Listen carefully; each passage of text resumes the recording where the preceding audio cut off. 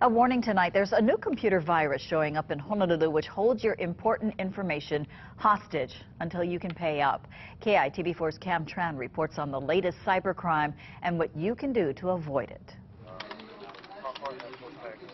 It's called ransomware, and this latest computer virus popping up in Honolulu lives up to its name.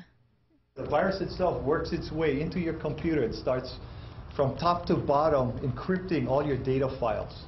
Once the files are encrypted, the scammer holds all your important documents hostage, including PDFs and client and accounting files. The scammer then sends the victim an email telling the victim he has 168 hours to pay a $500 fee through the currency Bitcoin in order to get the documents back.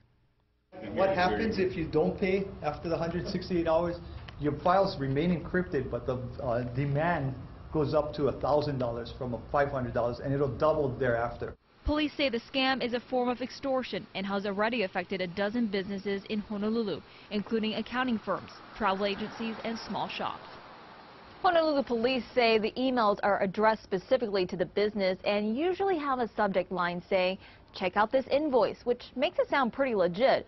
But once you open up the email, your computer has already been infected. So what can you do to protect yourself?